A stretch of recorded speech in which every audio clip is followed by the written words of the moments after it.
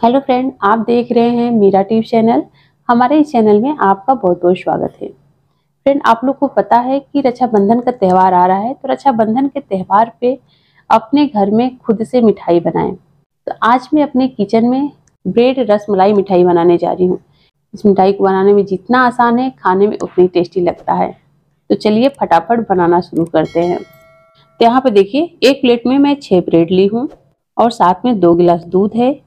आधा कटोरी चीनी है और यहाँ पे देखिए, वनीला कस्टर्ड पाउडर है। इसका बहुत बड़ा रोल है।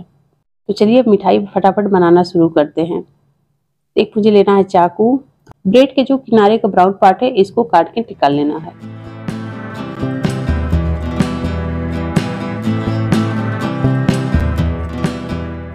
इसको फेंकने की ज़रूरत नहीं है। इसको भी आप चाहे तो चाशनी में बना के खा सकते हैं या फिर दूध के साथ इसको खा सकते हैं।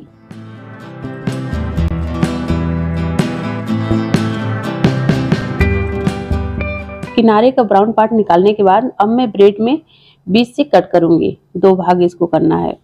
इनको ना देखे इस तरीके से। अब चलिए चलते हैं गैस की तरफ़। तो गैस पे देखिए कढ़ाई रख दी हूँ। अब मैं इसमें डालूँगी दो गिलास दूध।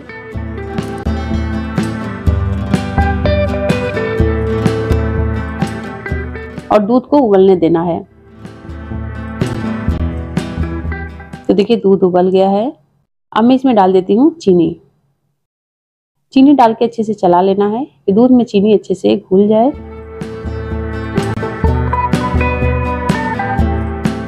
देखिए फ्रेंड, दूध भी अच्छे से उबल गया है और चीनी भी अच्छे से घुल गया है दूध में। अब मैं इसी दूध में से आधा कटोरी दूध निकालूँगी। अब ये दूध क्या होगा मैं आगे आपको दिखाती हूँ। यानी इसी दूध में वनीला कस्टर्ड पाउडर दो चम्मच डाल के अच्छे से घोल लेना है मुझे। अगर मैं डायरेक्ट वनीला कस्टर्ड पाउडर दूध में डालूँगी तो वो जम जाएगा गुटली बन जाएगा। इसीलिए मैं दूध निकाली हूँ कि दूध थोड़ा ठंडा हो जाए, फिर मैं उसमें दो चम्मच डाल के मिला लेती हूँ। देखिए, दूध ठंडा हो गया है। अब मैं इसमें दो चम्मच वनीला कस्टर्ड पाउडर डाल के अच्छे से घोल लेती हूँ। इसमें गुटली ना रहे। देखिए, इसमें गुटली नहीं है, बहुत अच्छा घुल गया है। तो जो मैं कढ़ाई में दूध रखी हूँ खोलने के लिए, इसी में वनीला कस्टर्ड पाउडर का घोल डाल देना है।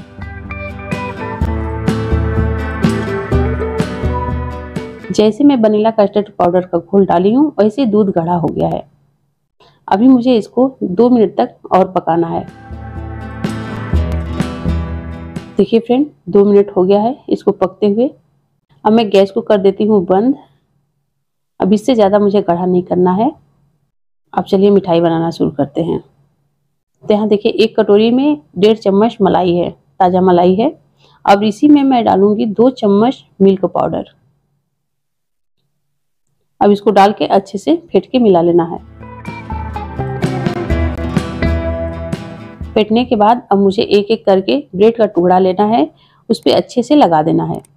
देखिए, इस तरीके से लगा के और दूसरा ब्रेड का टुकड़ा उठाना है, इस पर अच्छे से चिपका देना है, रख के। केक खुले ना इसी तरीके से सभी ब्रेड पे लगाना है और दूसरा ब्रेड उठा के इस पर अच्छे से सेट कर देना है।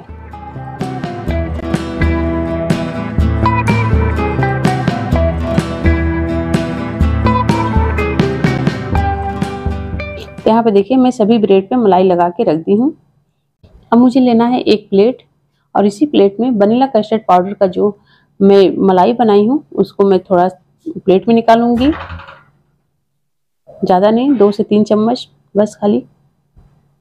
और यहाँ पे देखिए, मैं एक कटोरी में आधा कटोरी दूध ली हूँ। एक गर्म दूध है, यानी ठंडा हो गया है।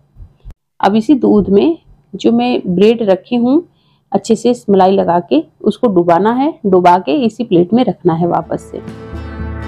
देखिए, इस तरीके से। ज़्यादा देर तक दूध में नहीं रखना है, नहीं ब्रेड गल जाएगा।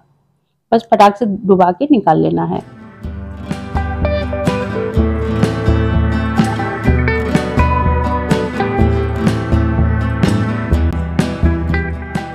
अब इसके ऊपर मैं जो बनाई हूँ मलाई, उसको डालूँगी।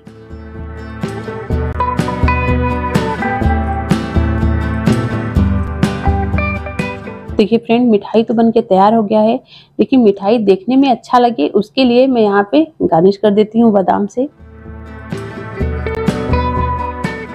बादाम से गार्निश करने के बाद केसर के एक दो धागे से मैं गार्निश कर देती हूँ तो और देखने में अच्छा लगेगा। देखिए फ्रेंड मिठाई बनके एकदम तैयार हो गया है। ये मुँह में जाते ही मिठाई खुल जाएगा, क्योंकि ब्रेड रस, मलाई मिठाई है। मैं आपको चम्मच में उठा के दिखाती हूँ कि देखिए कितना सॉफ्ट कितना मुलायम मिठाई बना है। बहुत ही बेहतरीन मिठाई बना है फ्रेंड आप लोग भी अपने किचन में एक बार ज़रूर ट्राई कीजिएगा। तो आप लोग को ब्रेड रस, मलाई मिठाई कैसा लगा कमेंट बॉक्स में कमेंट करके ज़रूर बताएँ। अगर वीडियो पसंद आए तो वीडियो को लाइक करें। हमारे चैनल पर पहली बार आए हैं तो चैनल को ज़रूर सब्सक्राइब करें। मैं मिलूँगी अगले वीडियो में एक नई रेसिपी के साथ। तब तक के लिए थैंक यू फ्रेंड